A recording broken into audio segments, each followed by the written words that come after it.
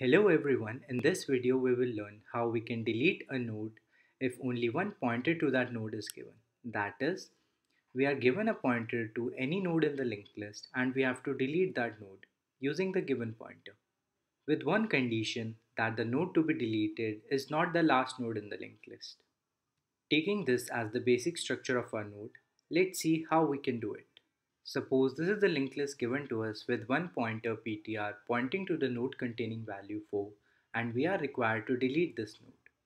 So the first thing that comes to mind is we can directly delete this node using pointer ptr. But if we do so, we see that our linked list is broken into two parts. And to join these two parts, we need access to the node containing value 3 so that we can point its link part to the node containing value 5 and rejoin our linked list. But we can't do this as in this particular problem we are not provided with the head or the starting pointer of the linked list, which we require to traverse to the node containing value 3. So let's see how we can actually delete this node.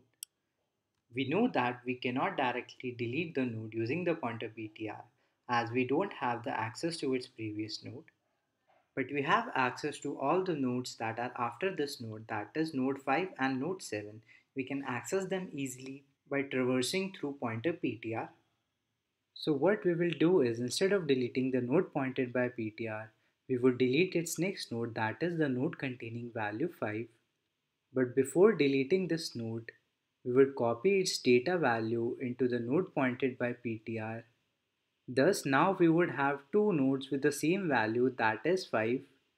So we will delete this next node and then we can easily adjust our links. So let's do this and side by side we will write the code to understand this in a better way. So we take our function delete node in which we are given only one argument that is the pointer ptr pointing to the node that we have to delete. Now we take another pointer temp and we equate it to the link part of the node pointed by ptr. Thus our pointer temp is now pointing to the next node which contains value 5. Next we will copy its data into its previous node pointed by ptr. Thus our node pointed by ptr now contains value 5. In the next step we will adjust the link part of the node pointed by ptr so that it points to the node containing value 7 by equating the link part of ptr to the link part of temp. Thus it now points to the node containing value 7. Now in the final step we can simply delete the node pointed by temp by freeing the memory allocated to it.